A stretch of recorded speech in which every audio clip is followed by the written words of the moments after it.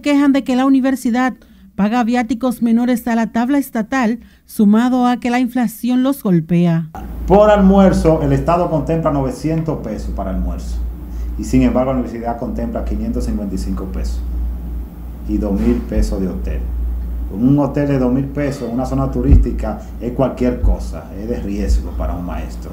Entonces, nosotros lo que estamos pidiendo es que por lo menos la universidad pague lo que paga el Estado a un profesional.